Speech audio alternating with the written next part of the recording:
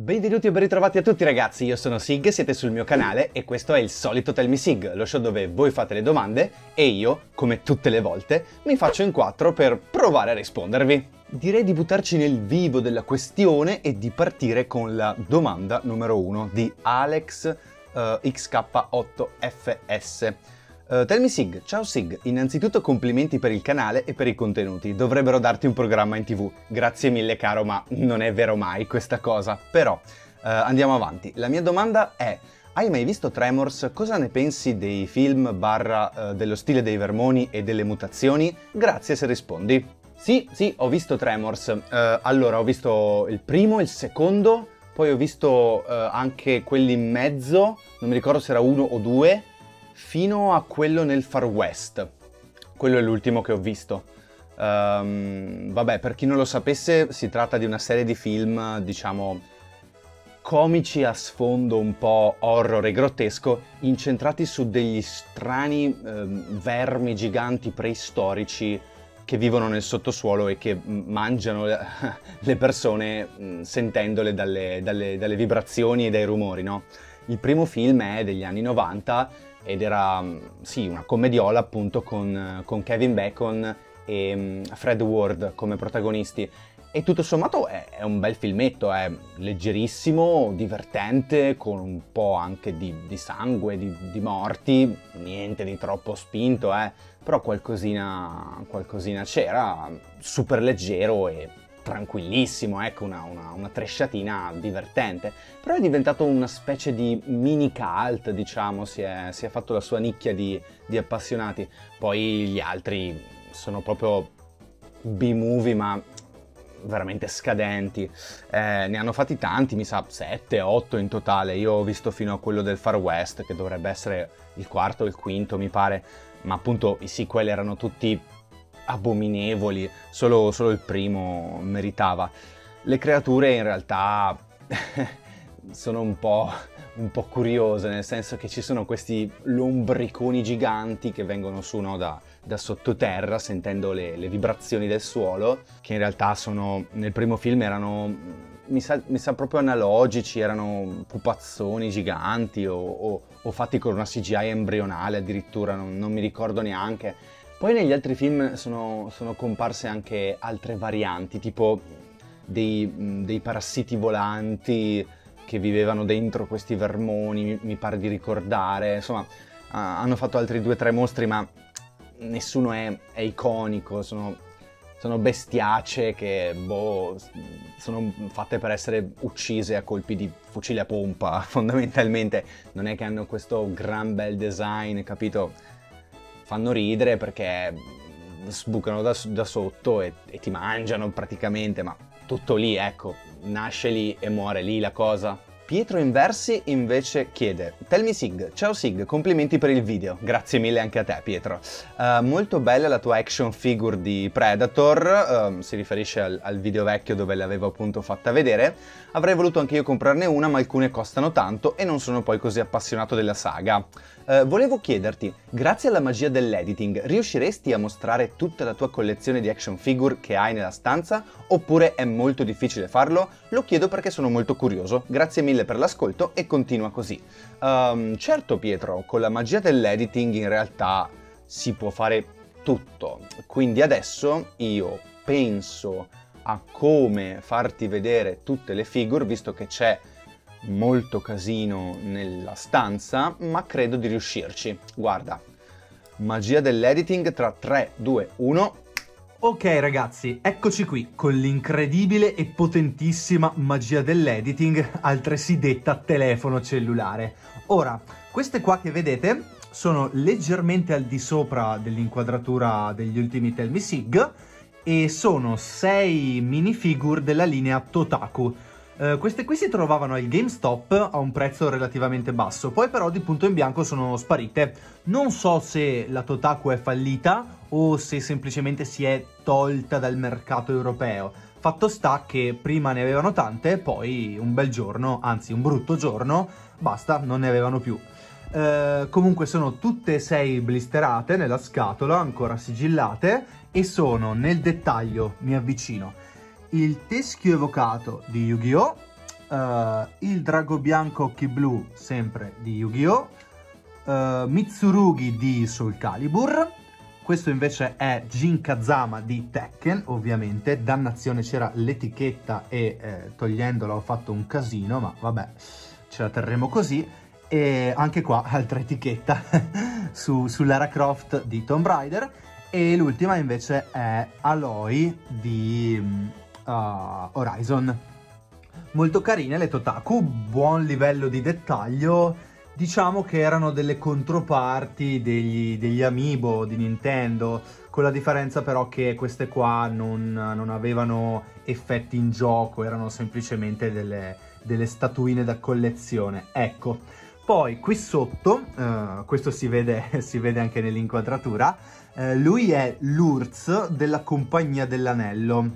Uh, è una, una figure fissa, non snodabile, della linea NECA che è una linea americana molto famosa che fa appunto figure sia articolate e snodabili, quindi sia fisse con piedistallo da, da esposizione. Molto bello questo qui, l'URZ, veramente molto molto bello. Livello di dettagli notevole, notevole per essere una figure piccola, spada, uh, faccia piena piena di particolarità, si vedono le zanne proprio anche pieghe del vestito, insomma, parti dell'armatura, lo scudo, uh, i piedi, insomma, veramente fatto, fatto molto bene.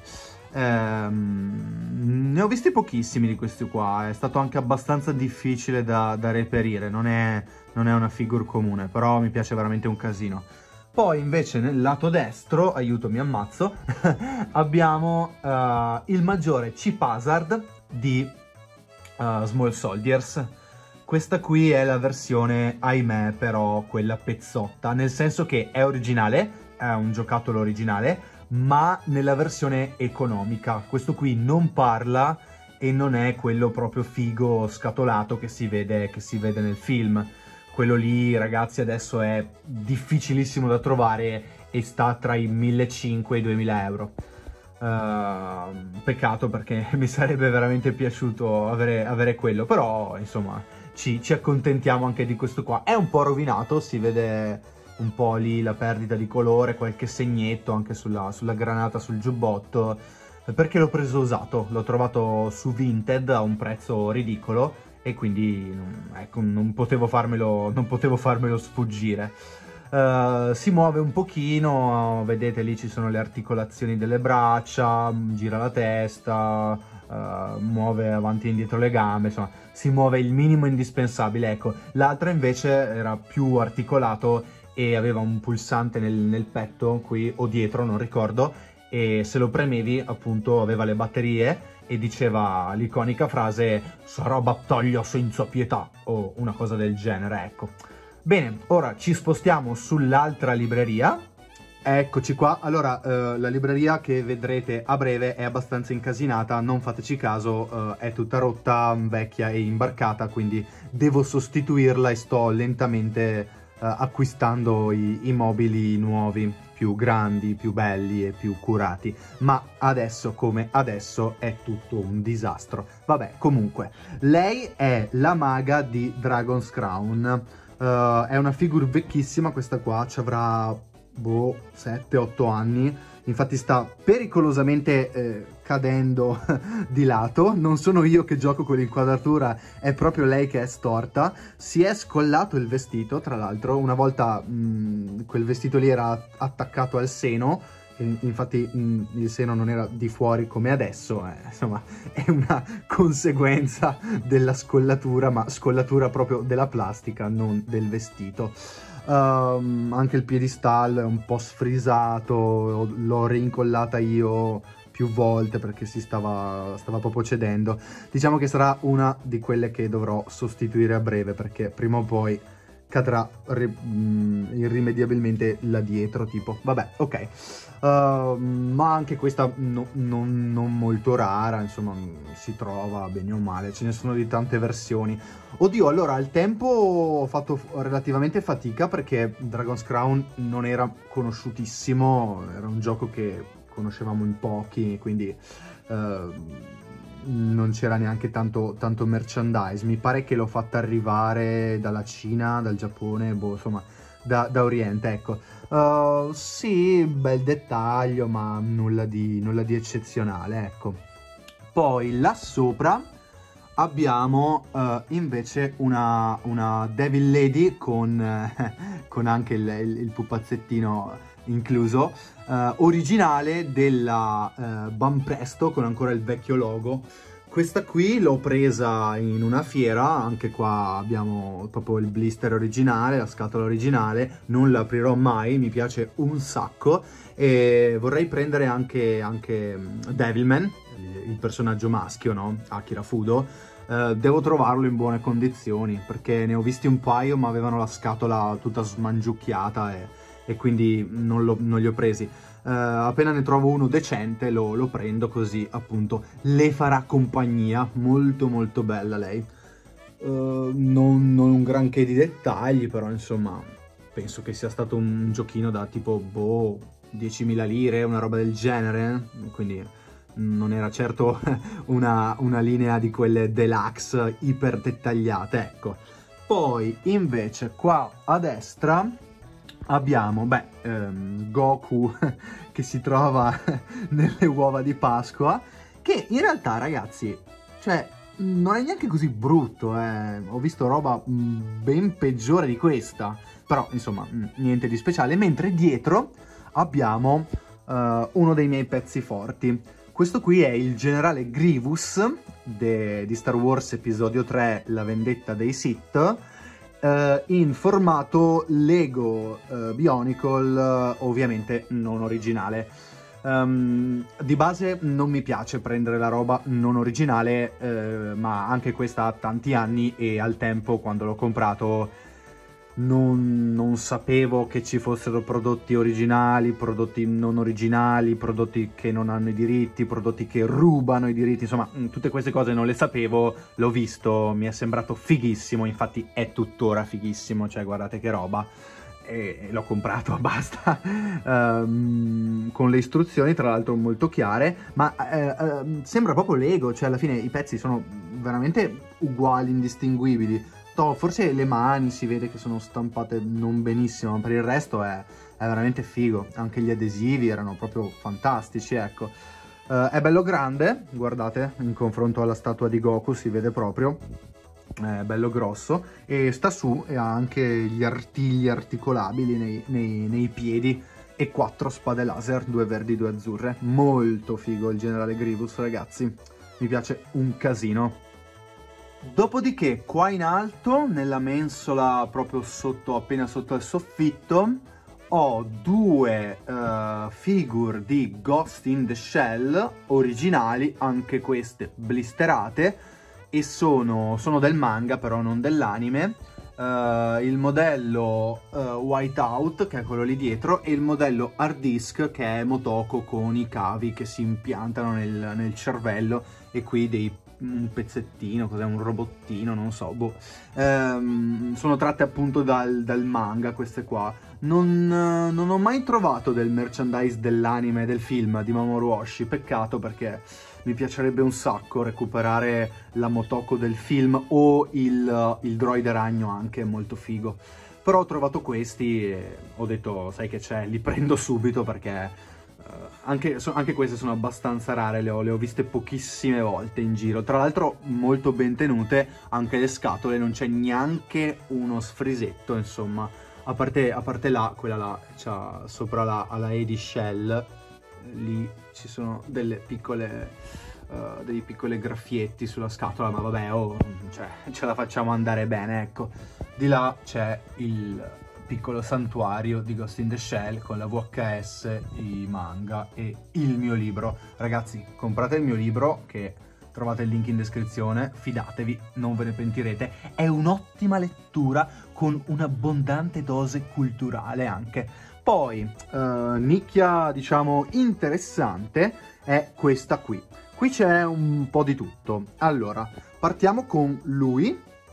Quello lì è sempre della linea NECA, mi pare, non lo so, non mi ricordo, anche questa è abbastanza vecchia come, come figure, è l'Armor Batman di uh, Batman vs Superman.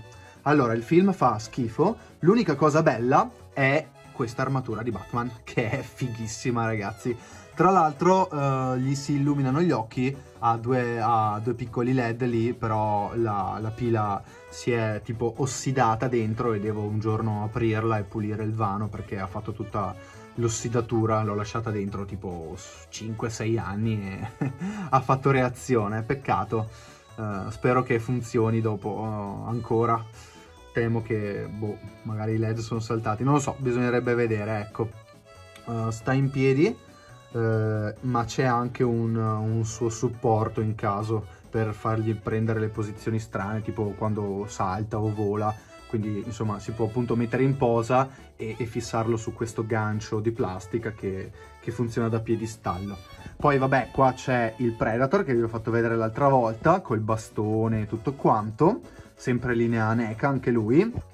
Uh, si muove un po', si muovono le gambe, le braccia, può, può, mm, gli puoi cambiare la testa, gli puoi mettere la testa con la maschera, insomma è un po' personalizzabile. Uh, poi là dietro c'è invece uh, Buzz Lightyear di Toy Story. Questo è originale di fine anni 90, ragazzi, ed è purtroppo anche questo la linea economica, non è quello figo inscatolato che parla e che dice verso l'infinito e oltre, no, cos'è che dice? Sì, verso l'infinito e oltre, esatto, sì, quella roba lì. Purtroppo no, questo muove semplicemente le braccia e uh, si alza e si abbassa il casco. C'è un bottoncino lì che se lo premi il caschetto si aggancia, la, la cupoletta appunto di plastica trasparente fa, fa, fa, da visiera alla testa e invece poi lo sganci e scompare dietro. La, l'altro costava tanto e peccato insomma. Anche qua sarebbe stato da comprare la, l'altro che era proprio il giocattolo più costoso per bimbi ricchi. Invece noi bimbi poveri ci dovevamo accontentare delle versioni pezzotte. Però questo qua ragazzi lo, cioè, comp- cioè, l'ho comprato io l'ha comprato mio padre al tempo quindi ha i suoi anni eh? Uh, non male non male.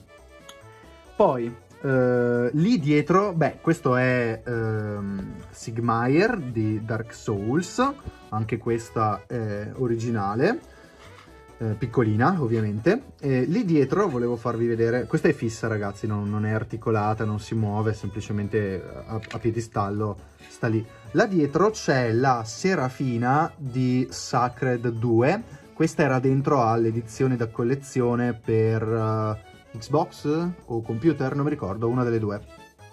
E c'era appunto un artbook, uh, c'erano un paio di gioielli finti, tipo due anellini, una collanina, e c'era la, la minifigure della Serafina.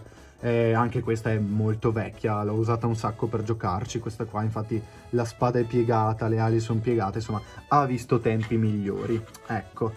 Poi quello lì, questo qua che vedete inquadrato, è un Cyclorian.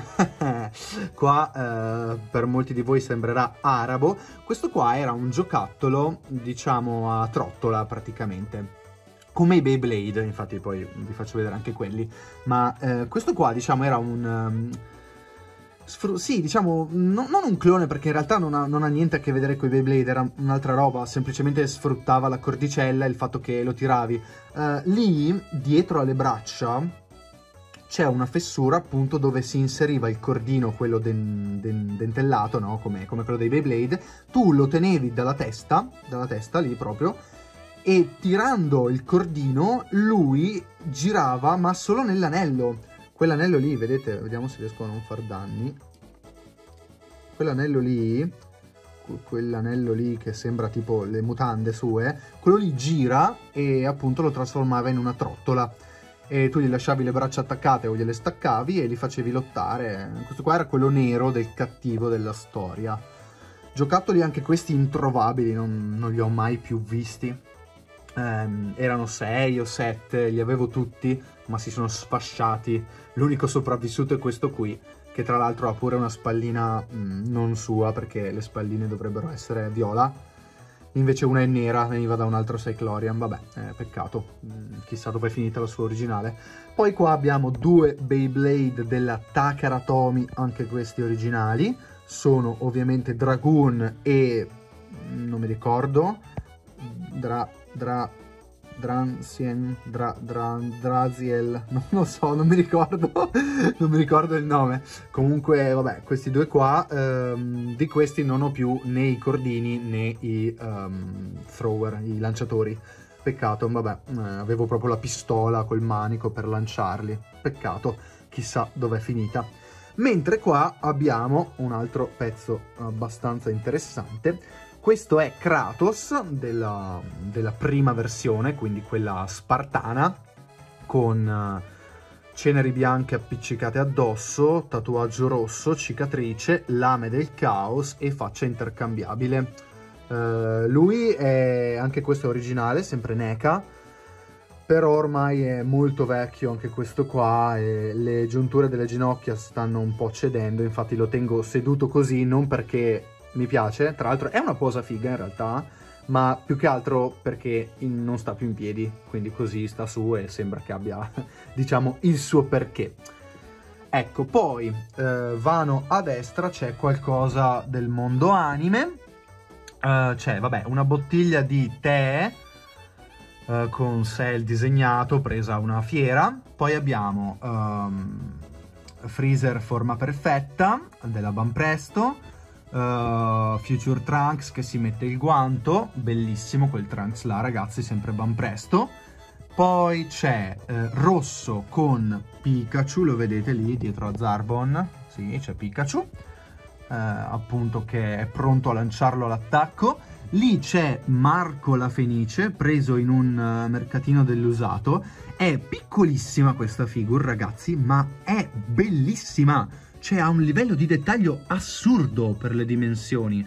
Tra l'altro Marco, uno dei pochi personaggi che mi piace, sta su grazie a quel blocchetto di plastica lì che ha, ehm, eh, ha le fessure per i piedi, lo, lo agganci così e lui sta in piedi. Molto molto bello, rapporto dimensione-dettaglio perfetto. Poi qui c'è Zarbon, questo è un portachiavi ragazzi, uh, aveva in testa un, un anellino che io ho svitato e sta in piedi benissimo anche questo preso in una fiera o in un mercatino, non ricordo. Poi qua invece ci sono due, uh, due Oddio, com come definirli questi qua? Mm, non sono figure, sono tipo adesivi su mm, plastica trasparente che stanno su grazie appunto a un piedistallino. Sono Bulma di Namek e mm, Gohan con suo padre nel corpo però di Ginyu, quindi molto simpatica questa cosa qui che appunto è, è, è, quel flash che Gohan ha quando vede suo padre dentro al vecchio corpo danneggiato del capitano Ginyu. Infine, qui c'è uh, Yanko, morto dopo l'attacco dei Saibaimen um, durante la saga dei Saiyan. Molto bella questa figure, piccolina anche questa, ma uh, super, super dettagliata. Tra l'altro uh, c'è pure quella in versione eh, partita di, di baseball no? con, di Dragon Ball Super con lui nella stessa posa, però con la divisa da baseball, che è tipo un tributo alla, alla vecchia saga eh, dei Saiyan nel, nella, nella, parte nuova di, di, Super. Voglio prendere anche quella, così poi le metto vicine, ci sta. Fanno la loro bella figura, ecco.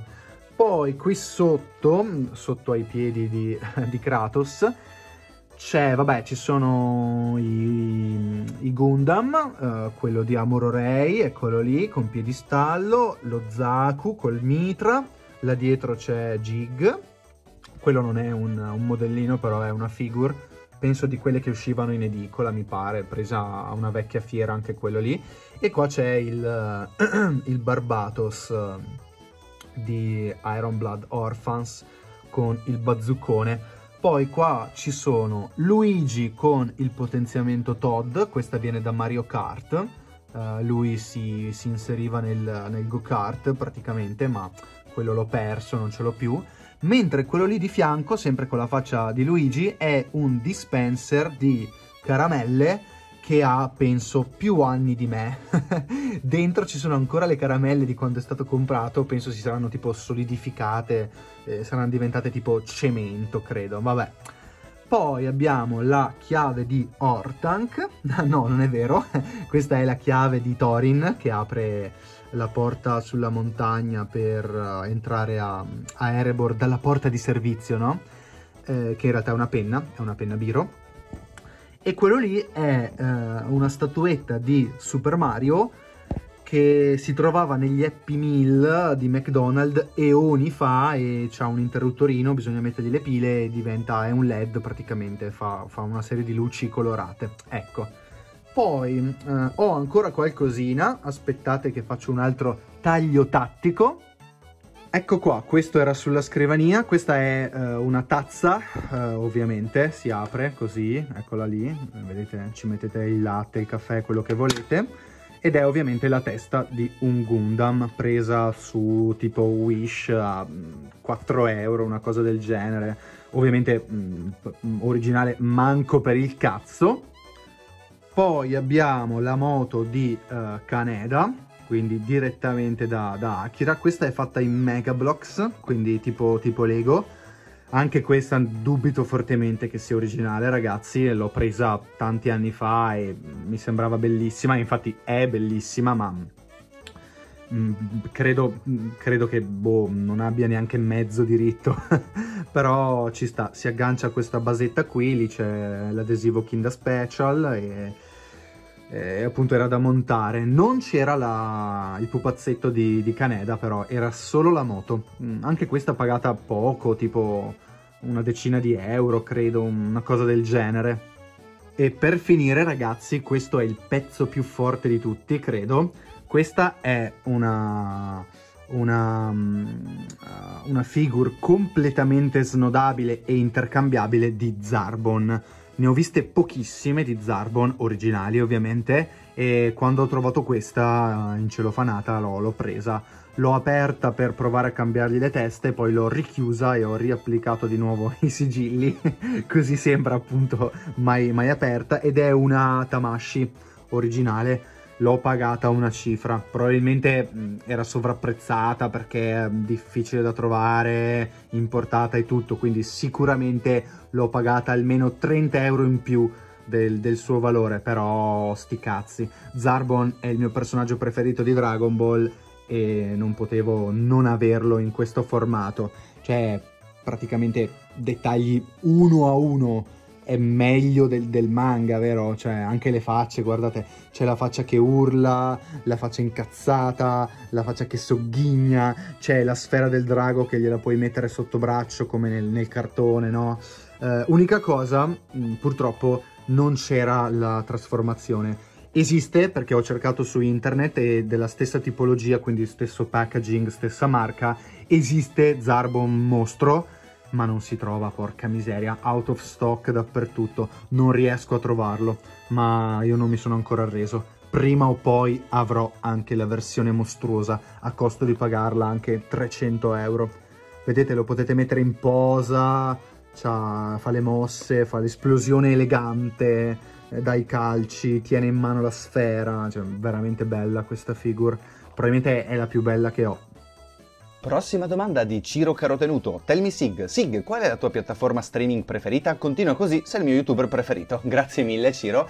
Uh, la mia piattaforma streaming preferita? Beh, sicuramente quella che uso di più è eh, Crunchyroll perché ci escono tutti gli anime, io guardo tantissimi anime, quindi principalmente uso tanto quella, però non so se è la mia preferita. Anche Netflix non mi dispiaceva. Netflix la, diciamo, la accendo e la spengo in base a quando mi serve.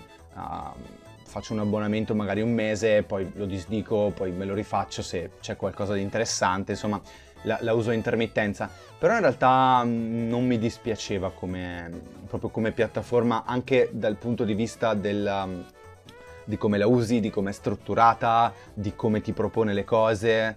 Uh, se no mi piace anche Hulu, Hulu sì. Uh, Hulu è una piattaforma di film con però roba molto di nicchia, molto artistica e meno, mm, meno commerciale, meno mainstream, ecco. Sono quelle cose un po' elitarie, un po', un po' artistoidi, ecco, carina anche Hulu. Però principalmente visto che uso tantissimo Crunchyroll, me la sono un po' fatta piacere, ecco, quindi sì, forse ti direi Crunchyroll, anche solo per uh, il tempo che, che ci passo sopra, ecco. Bene ragazzi miei, direi che anche per oggi abbiamo finito. Uh, le domande non erano tante, ma c'era il tour delle action figure che, diciamo, ha rubato un bel po' di minutaggio. Detto ciò, io vi ringrazio come sempre per uh, tutto quanto, per le views, per i commenti, per i feedback, uh, è sempre tutto molto apprezzato ragazzi e soprattutto so che non è dovuto, quindi ancora di più i miei sentiti ringraziamenti. E, niente, come sempre statemi bene mi raccomando, date un'occhiata al mio libro se ne avete voglia e noi ci becchiamo come sempre. Alla prossima, ciao!